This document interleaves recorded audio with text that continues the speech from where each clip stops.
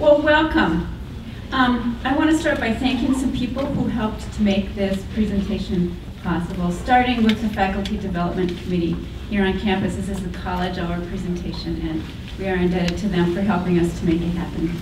Also thanks to the English Division and to the Two Rivers Reading Series Committee, which includes Paige Reel, Michelle Heron, Scott Stanky, Jennifer Wilcutt, Kathy Y, and me. Um, I'm Tracy Youngblom Turner from the English Department, and I am pleased and honored to introduce today's speaker, Diane Wilson. As you know, she's here today to read from and talk to you about her book, Spirit Car, Journey to a Dakota Past, a book that many of you have read and talked about in your classes. This book won a 2006 Minnesota Book Award and has been featured this year in the One Minneapolis, One Read series a particularly appropriate choice for 2012, the year that marks the 150th anniversary of the Dakota War that is at the center of this book. I must confess, I read the first few chapters of Spirit Car while in a car myself, driving with my husband to Iowa to visit relatives. I read aloud as he navigated the beautiful farmlands between here and there. We were both mesmerized by the story, a mix of fact and imagination, of family history and state history. Diane has done what many of us have wanted to do, fill in the gaps and silences in our own histories.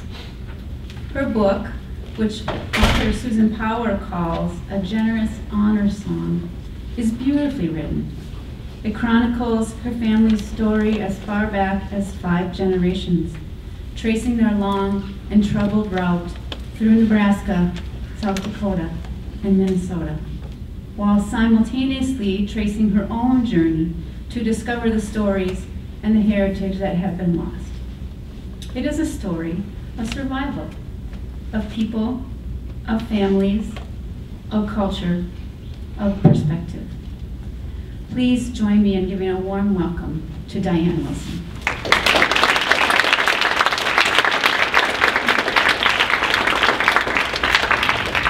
Hello, and thank you for the invitation to be here today. I am honored to be um, on your campus and to be part of the conversation and to actually share my book with all of you. I can't tell you what an honor that is for a writer to have people care about something you, you uh, labored on in private for so many years. Um, so can I ask, were, uh, if any of you were in the first presentation? So you're all new. Okay, so just, I didn't want to repeat myself too much. Um, and then how many of you have read the book? So, okay, great, a lot of background. So I am actually going to today just, I'm going to um, read a brief section from the book. But then I also want to discuss some of the questions that um, the students turned in, which uh, I'm really grateful for, because it gave me a great insight into some of the things you think about as you read it. It gave me a way to think about the presentation from a little more from your perspective and to just shift the material around, because you know I know it pretty well by now. So um, it was really fun to get that list of questions. So I put together uh, about half a dozen, and then afterwards we'll have time where you can bring up uh, your own questions if, if, we didn't get to them yet, um, and just see where the conversation goes. So just uh, for anyone who hasn't read the book, I just want to say briefly that um, Spirit Car is a memoir that I wrote about my mother's family. Um, it, it, traces back five generations uh, to the 1862 Dakota War, where my great great grandmother uh, Rosalie Ironcloud um, was living across the river from the agency when the war broke out. And I went back that far because uh, at, I actually didn't learn about the, the war, or I certainly didn't remember learning about it when I was in school. I never learned anything about the removal of Dakota people afterwards. And so the history that I learned really didn't explain my family's experience. So knowing that my, um, my relative was living across the river, uh, she was married to a French Canadian, and they had, I forget, seven or eight mixed blood children. And the fact that when the war broke out, the Dakota people had to decide in that moment which side they were going to be on.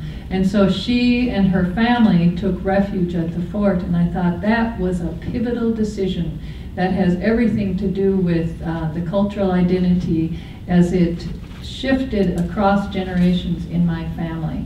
But at the time that I started the book, I didn't know any of that. What I, um, what I had was a story that my mother had told me about being left at boarding school.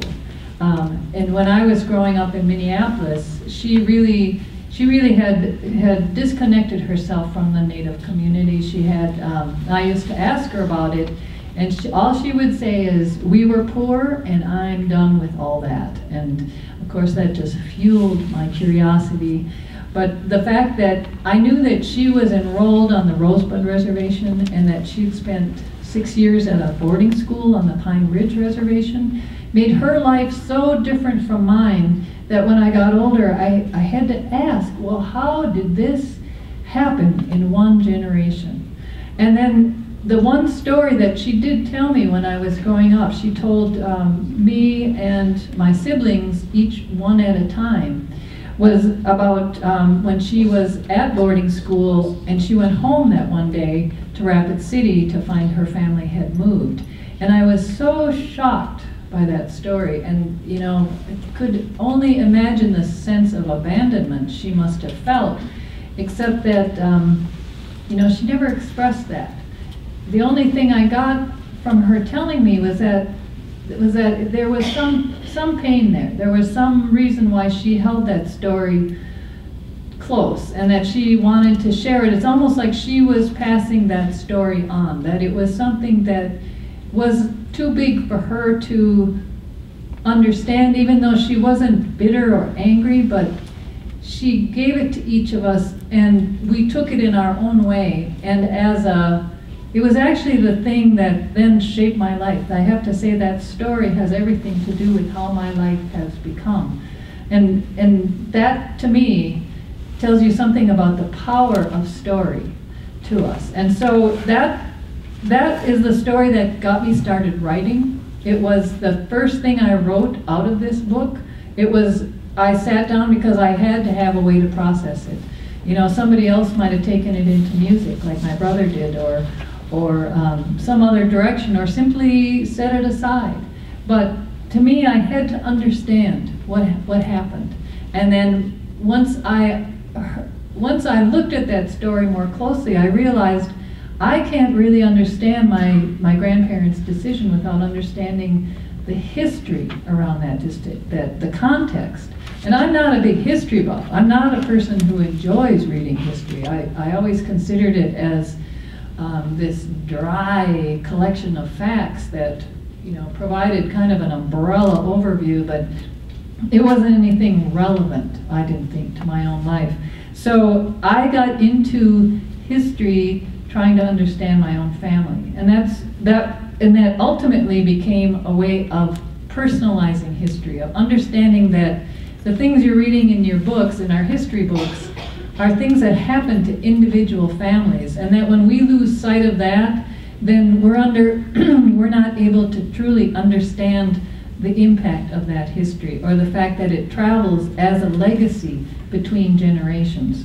So that's why it became so important to me to understand Rosalie's life and then how her decision affected her children's lives and how their decisions and so on affected each generation until finally it came to me and what was left was this story of my mother's. And in a way, I view that as a thread. You know, looking back, that was the thread that pulled me back into the community, into the culture, into the into understanding this history. So I'm going to read you um, a brief excerpt about um, just one of the one of the experiences I had growing up. And this is I've just come back from a research trip out to South Dakota, and so I'm I'm visiting my mother in Golden Valley, and we're just having a conversation about the the road trip where my daughter said, she was never going on another one with me again. and I can't blame her. Um, so this is, this is part of that conversation. We sat without speaking for a few minutes, my mother in her usual chair near the toaster and the phone. She was 65, but her hair was still dark, streaked lightly with gray around her face. She liked to get up early in the morning, like before my dad, and sit quietly with her coffee, her jungle pink fingernails a bright contrast to her white cup. Like all of her sisters, she has remained a beautiful woman as she grows older, although I like to remind her that the family parakeet once found her nose with its high ridge a convenient landing place. She just tells me to look in the mirror. My mother, as always, was turned toward the window so she could watch the sparrows at the feeder in the front yard. Her eyes were softened with age, but they still commanded obedience from her grandchildren with a single look, just as they did from her own children. She never raised her voice with us, instead using silence like a cattle prod, nudging us to behave. Before I left, I carried a stack of folded laundry up from the basement to my mother's bedroom. The room was still pink, my mother's favorite color.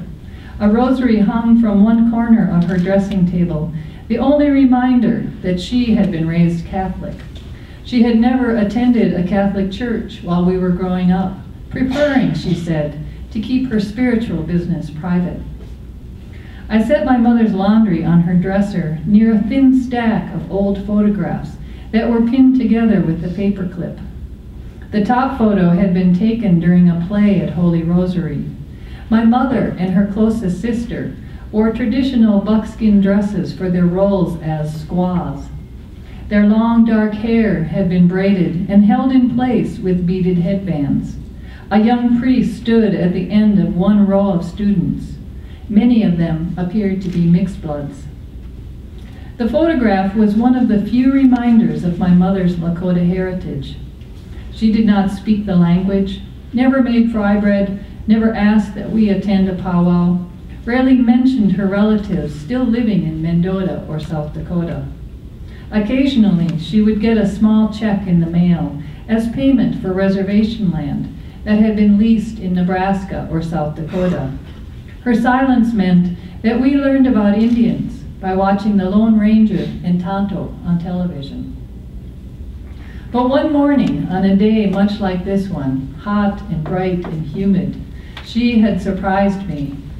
I was about 11 years old, dawdling in the garage out of curiosity or nose trouble, as my mother called it, waiting for the Salvation Army truck to arrive. Our summer days were so placid and uneventful that the arrival of a big truck to carry away a donated couch was an event.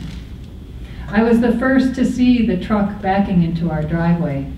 I knew that curtains would be pushed open all along our street as the neighbor women craned their necks to see what was going on at the Wilson house. I stood unnoticed in the corner as two burly Indian men climbed out of the truck and walked into the garage. My mother came out the side door, a cardigan sweater thrown over her shoulders. She looked elegant even in the old slacks she wore while she cleaned. When she saw the men, she smiled and said, Hakola, hello friend in Lakota. They looked as surprised as I felt. One of the men nodded his head and returned the greeting. Up until that moment, I thought my mother was the same as all the other mothers in the neighborhood. I knew about Rosebud and Holy Rosary, but they weren't real to me. My mother wore her hair cut short, drove my brothers to baseball practice in the station wagon, and showed up for parent-teacher conferences in a mom-style outfit. Standing in the garage that morning was the first time I realized she was different, not just from the neighbors, but from me. So that moment combined with the story that my mother told me, was about all I had to get started. And so for, for those of you who are writers or interested in writing, um, let, let that be encouragement to you, that it doesn't take much. All you need is a question, really. So in my writing, I'm inspired by questions. I think in that, in that moment, I thought about how did this happen to my mother? And the other question related to that was, how, what has happened to the native, to the Dakota identity in my family? How is it that her life is so different from mine? And that was at a time when I still hadn't done any of the research.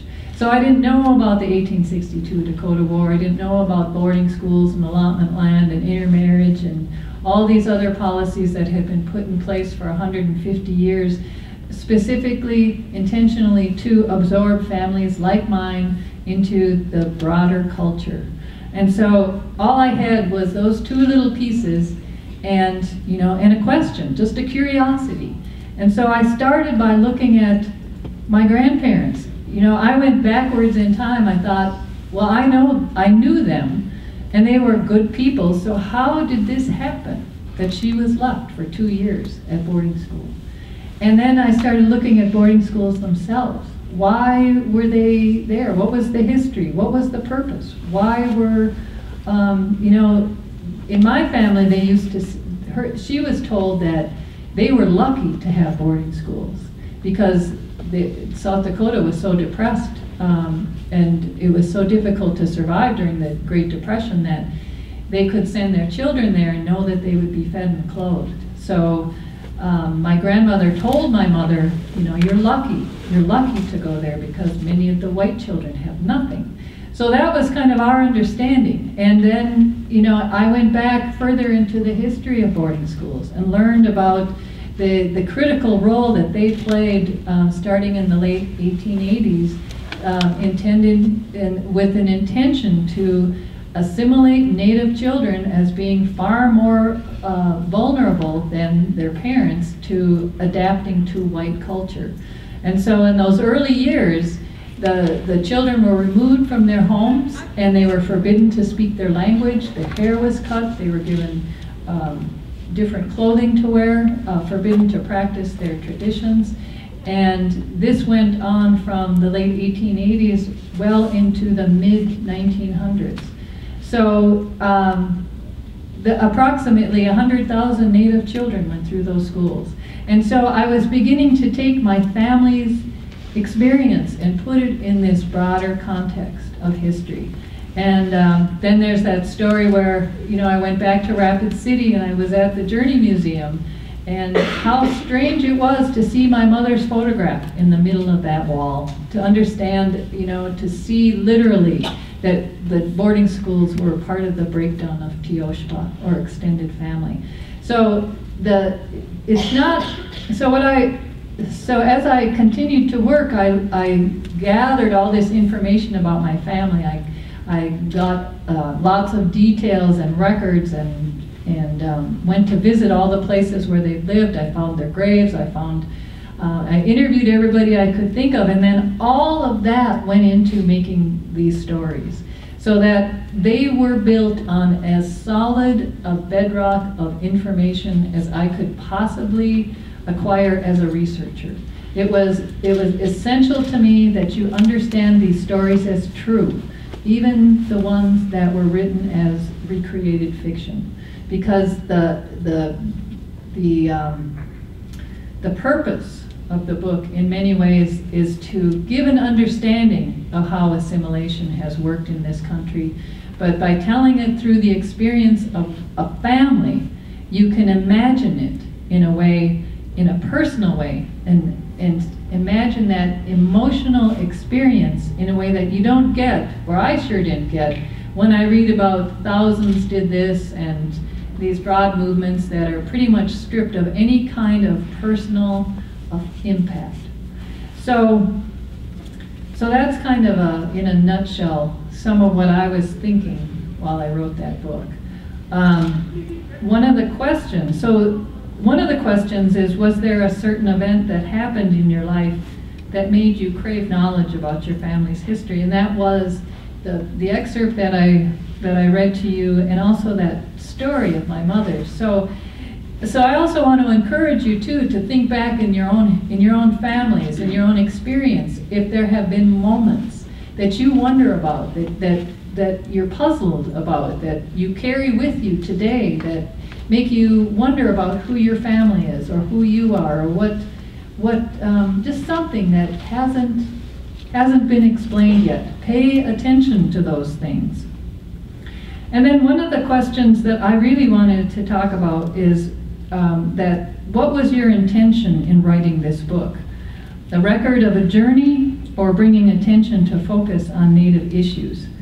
And um, I really think that intention for a writer, especially a writer of nonfiction or creative nonfiction, is a really critical question. And I didn't know it, again, starting out. I was just gathering information. I wasn't even sure I was going to write a book because that seemed impossible.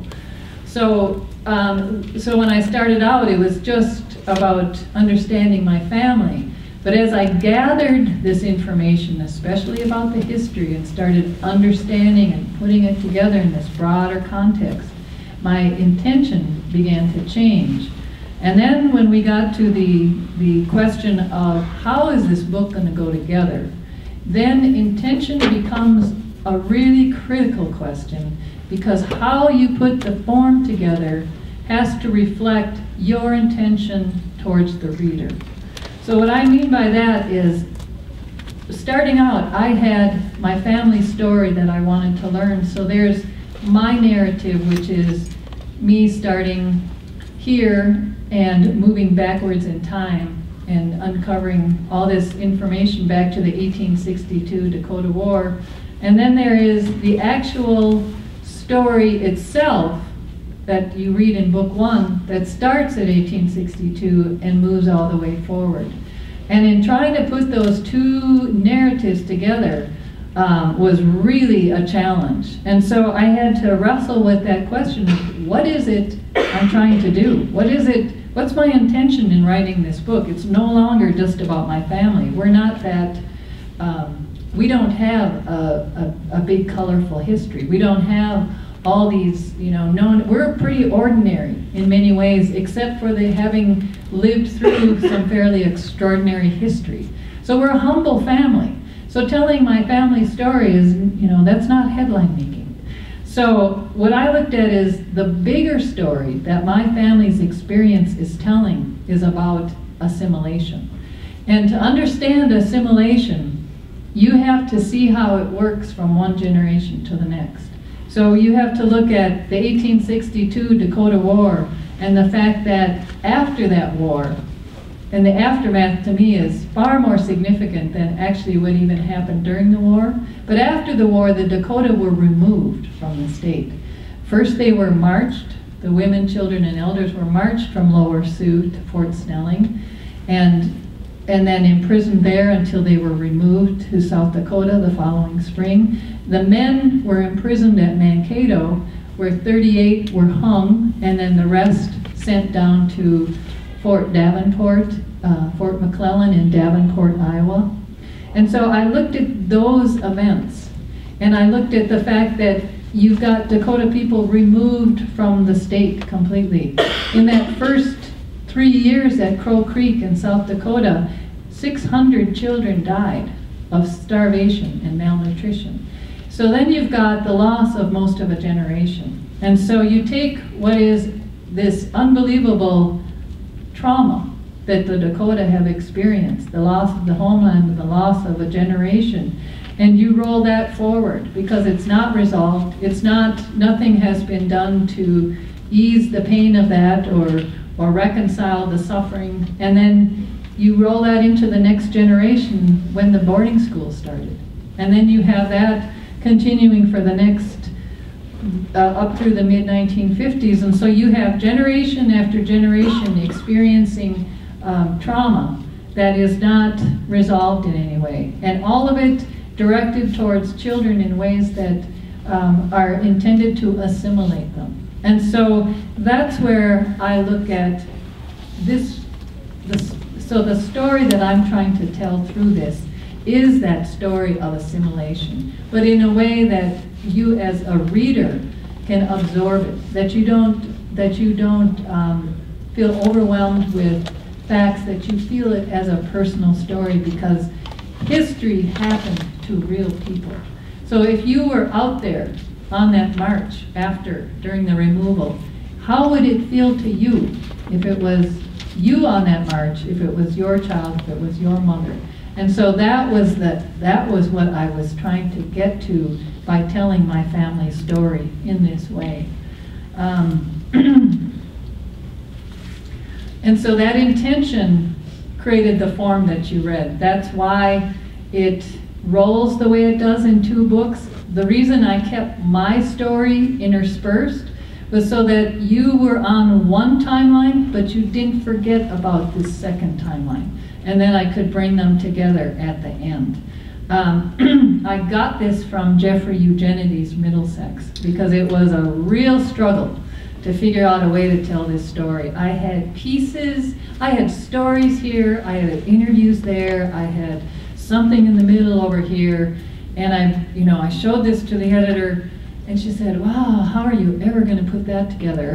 and I really didn't know. So that's where that question of intent. Once I understood, I'm trying to tell the story of assimilation. It has to work on a timeline. I took all those pieces and I put them in order, and then that helped me. That helped me figure out a form for the book. And as I told the earlier group, it still took a year before that manuscript was accepted. So the editor read that, what I had put together, which a student, uh, she made a good a comparison to a quilt. That's kind of how it went together.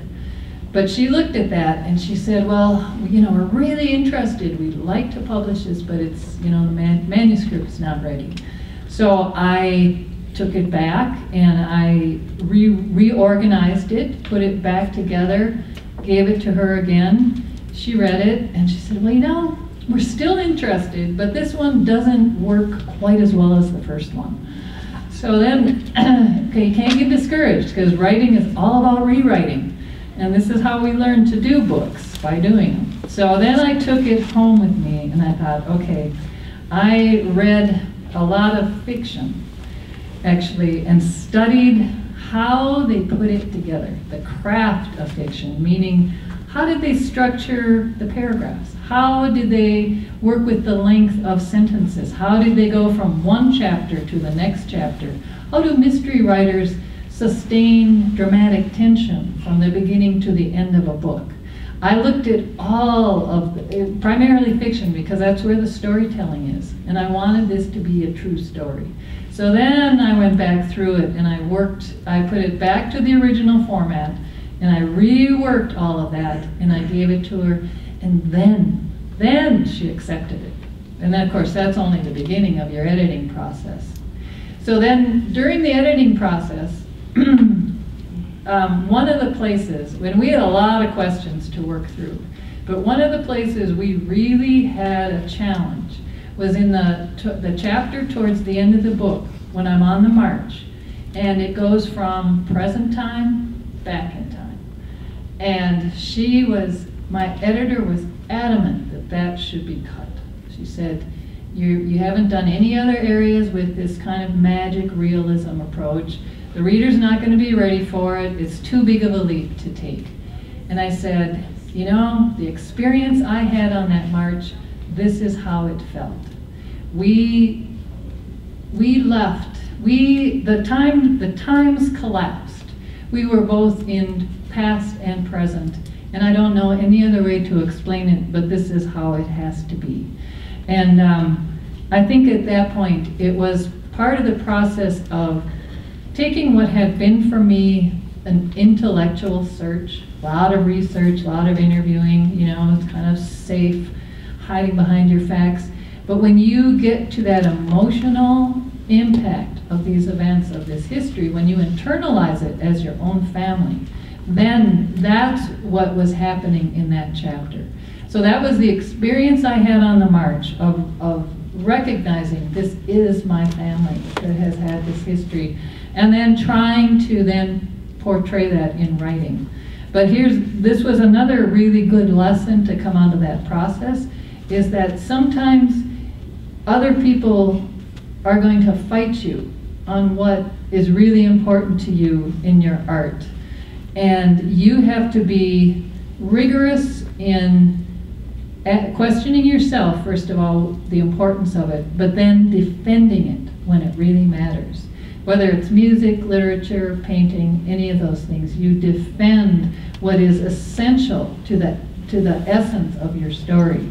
And that was one of those moments. And I have to say, of all the places in the book that people respond to me, that's the area that probably gets more, more comment than any other place, and especially from Native people. When they read it, they just say, yeah, that's how it is. And so I thought, well, thank God I didn't, you know, listen to the editor. I listened to her on a lot of other things, but not that one place. um, Someone else asked, did writing the book affect your opinion on American history? Yes, a great deal. Um, I think really there's, there's so much history that has gone untold in our country and even in our state. You know, that what has happened in Dakota history within Minnesota and, and certainly throughout the country um, qualifies under the United Nations definition of genocide. And yet, here we are.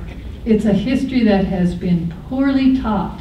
And so you have to see that as having been covered up and who has benefited from not sharing this history.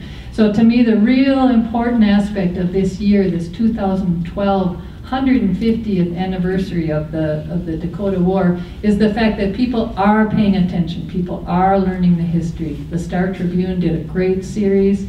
And we're beginning to understand that we have inherited a really complex legacy within Minnesota and within our country. And we really haven't come close yet to, to understanding the, the impact of that history, much less to reconcile around it. And to me, the, the history of the boarding schools, that's one of the that's one of the biggest stories to have come out of Native history, to have impacted so many lives, and yet we haven't really even acknowledged it. And they have in other countries. Up in Canada, they've done, um, they've, they, they, uh, they had an apology from their highest level government. They um, passed a, a, restitution package of some 350 million, which money does not solve these issues. But it was a government attempting to make something right that it had done horribly wrong. And so, um, so Spirit Car is a way of sharing a story that begins to raise this conversation up to a place where we can share it, where we can begin to think about our histories, uh, what we've inherited, uh, what you've inherited in your own lives. Um, you know, people who've grown up in those areas around where the war uh, took place certainly there's a lot of feelings that are still very strong in all of those areas. So, um, so I'm, that's why I'm really grateful to events like this where we can, you're, you're reading the book, we have the conversation. Um, I love hearing the feedback on what you thought. Um, and so, and I love getting these questions. Um, and someone asked, how has your life changed after writing the book? Well, when I started out, I, you know, I didn't really know anything about my family, about writing. Um, uh, I was working in the arts uh, uh, for many years in arts organizations, which I love.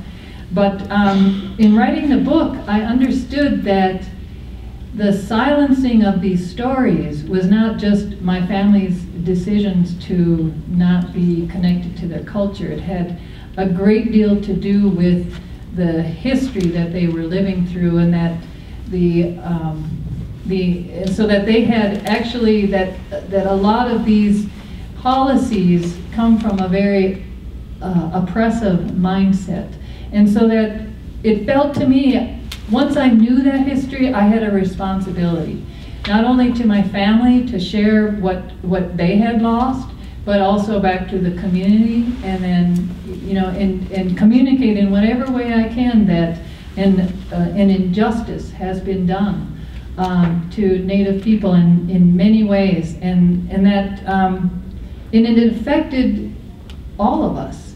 So I it shaped. So writing a book was a huge thing, and let me just tell you all that it's a lot of work, but it can be done. you just get up every morning and you write, and you do it whenever you have the chance, and you learn to do it by doing it. You don't, nobody has a magic formula, so you can write books.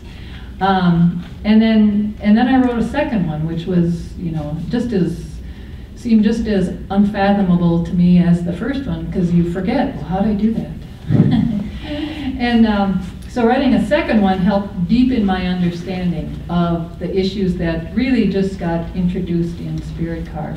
And then, and then finally, it did shape also the work that I do in my life so that I have been volunteering for many years for a, a native owned farm called Dream of Wild Health where we have a collection of really old, rare seeds that uh, belong to tribes. Some of them are just hundreds of years old. We have 800-year-old tobacco.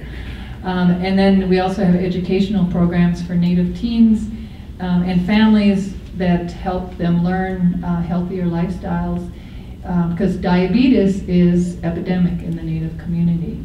And so um, this work for me is a, is a wonderful outcome of actually a process that began with that question about trying to understand who my family is. So once I knew, I thought, well, all right, now it's my turn. I'm of that age where It's my responsibility to both hold this legacy for our family and do what I can in my lifetime to make a difference. So um, that's in a, in a long way, uh, a way of talking about the power of story to shape who we become. So I would like to open this up now to questions. Um, and I hope you all be brave. I would love to hear. One of the questions I asked the first group is, um, what did you think, what did you think the main point was? That's one thing I'm interested in hearing about. But I'm also just interested in any questions you have, anything I haven't answered today. Yes? Um, I can't help uh, notice that there's the 150th anniversary is coming up. Are they doing anything for that, for the, the march? Yeah, there will be, he asked about the, um, whether the march will be happening. Yes. And this will be the last official march, as far as I know. Um, so it will, it will take place just as it has in years past.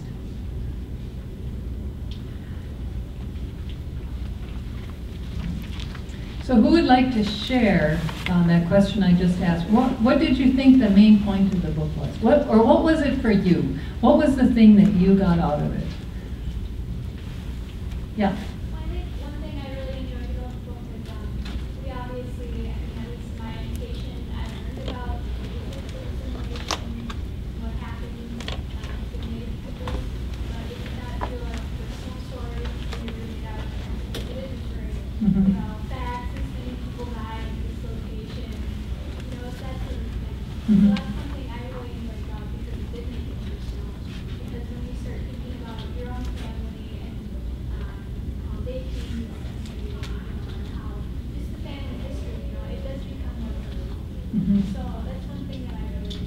Good, yes. Yes. Because I was amazed at how traditional uh, history doesn't really teach us those things that you were bringing forth in that book, that it's basically camouflaged at best. And I was astonished at the kind of atrocities that were experienced during that particular time. Mm-hmm. Yeah. Anybody else see that too? Well, what, and what concerns me about that, when, you know, when you're not getting um, a, a, broader, more diverse view of history, that, you know, I looked at um, the way that, you know, talking about the trauma that's been passed between generations. So what happens when you have all that unresolved trauma is that it results in um, a lot of social ills like uh, high rates of alcoholism, which, you know, um, there is in the community, the Native community, high rates of diabetes, high rates of uh, depression, and also, you know, Native, Native teens have the highest rate of suicide in the country. And so if you are not familiar with the history, you think, well, that's Native people, they, you know, that's who they are. And so you begin to see those stereotypes um, those statistics as a stereotype of Native people. You um, begin, you know, and maybe it's not such a far step then to create a mascot or um, or discriminate, you know, you, you discriminate against people in subtle ways through housing, through education. And so, um, part of my concern in, in telling a broader story is that you really understand who people are. And that when this history occurred, it affected both sides. It wasn't just, the harm wasn't just on one side. Um, to create a, a society that that in which this is capable of happening harms everyone. And so, um, and so to have that, one of the things that um, Clifford Canku, who's a spiritual leader up at Sisseton, one of the things that he he uh, he told me when I interviewed him is that this 150 years is a very short time in Dakota history, even though it was intensely traumatic and there's a lot of work to be done at the end of it. He said that's not who Dakota people are. And so all the attention that's paid to these, uh, what is sometimes symptomatic of trauma and also the war, we still haven't gotten back to understanding what Dakota culture is. And that's, you know, Dakota people have been here for thousands of years. So when we talk about the healing from the trauma and reconciliation, it's really about Dakota people getting reconnected to the culture itself in terms of the language, which is in danger, um, to the ceremonies and traditions. And a lot of those are still going on today, you know, among the, at the powwows and on the reservations. But we have a lot of work to do to overcome this legacy of trauma. So telling the history, understanding the history, working together is one of those, to me, one of the first steps, making sure that it's taught in our schools so that you're not just getting a history from a perspective of manifest destiny, where this was all meant to happen, it was ordained by the church, and um, you know, and, and let's look honestly at where we where we're at and what we've done.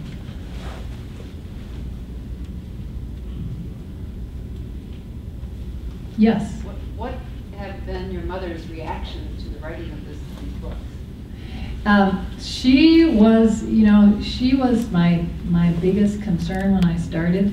So that story about the boarding school was the first one that I wrote um, when I was just starting out to write, and it was just a way of processing it. And then I showed it to her because I thought if I'm going to go any further, she has to be in favor of this. If it feels too painful, you know, I would never have written this book. So she read it and she said, well, that feels right. And then, you know, and she was completely open to the process from that point on. So I'd go out on these trips and I'd meet people and I'd write a story or I'd do an interview and I'd bring it back and I'd show it to her. And so she got to learn along with me. And she would correct sometimes, like, you know, my, my grandmother, I didn't have a, I didn't have a complete understanding of her personality, and so she would correct me, but mostly she just read it. And she, so it was a, it was really a wonderful experience to share with her. And I know I'm lucky that way because there's, you know, uh, there are families that are more vested in having to cover things up because there's there's pain there, or there's unresolved issues, or there's secrets. And of course, you know, telling those stories is an entirely different kind of project. But again, to go back to that question of intention around what you're writing, um, one of the examples I like to talk about is Nicole Helget's book, Summer of Ordinary Ways. And it was published a year before mine, and her family was outraged. They said it was not true, and it was such a big uh, controversy, it made the front page of the Start or the Pioneer Press. And I looked at that as a cautionary tale for telling family stories, but at the same time, because none of us as readers will really know the truth of their family, what would matter to the to her as a writer was what was her intention in telling those stories? Because maybe there's so much dysfunction that telling it is a way of cutting through it, you know, and then it's truth telling, and you're doing it for a good purpose. If you tell family stories to get even, you know, that's that's, um, that's gonna create a whole new world of hurt. So intention, again, is really critical to the writer in understanding what it is you're gonna put out in the world before you put it out there. Because once it's out there, you don't get to take it back. And, you know, and that was another, that, that's another thing to be aware of when writing families, family memoir. Yeah, so I was lucky. Yeah. Oh, other saw hand. That was hair. yeah. You went out on your interviews. Who was your favorite person to actually sit down and interview? Well, I have to say that um, it wasn't a great interview, but that experience I had with Buck Mullen down in South Dakota, where he didn't want to talk to me, um, that was one of the that was one of the funniest interviews that I had. And then and I you know and then to see just to see myself not realizing well he was going to talk to me, so I didn't realize I was quite so stubborn and you know until I met up with him and thought well no I'm going to sit here until you you all turn around and look at me. So stuff like that was actually, that made it hugely entertaining. Um, the fun interviews, you know, the sitting down with my mother and the aunts, the fact that I had all four of them in one place at one time, and they'd all been to boarding school, and now, looking back, there's only one aunt still alive, and my mother has passed, and so I just think I, I'm so grateful that I sat down with them when I had that opportunity. And that's something that I'd like to encourage everyone. You know, you you, it seems like your relatives will be around forever, but but this is when you probably still have your grandparents. You may even have your great grandparents, your aunts and uncles. And the more you can take that time to listen to them, to understand the stories that are coming down to you, the oral tradition that um, if you don't listen now, you may you it may you may lose another chapter in your life.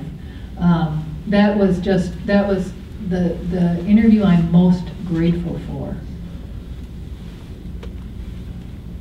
Yeah. Would you have done like the whole traveling around and discovering your past thing if it was on your dad's side of the family with something different? You know, the, um, she asked about my dad's side. Um, I didn't feel that need because history has been written from the European settler perspective.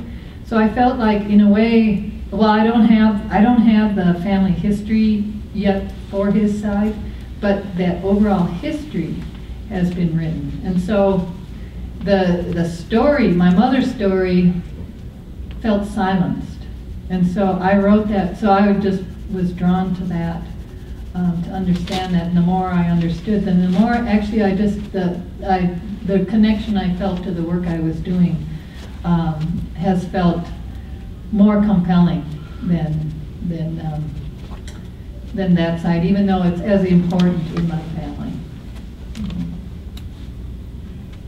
And it's time.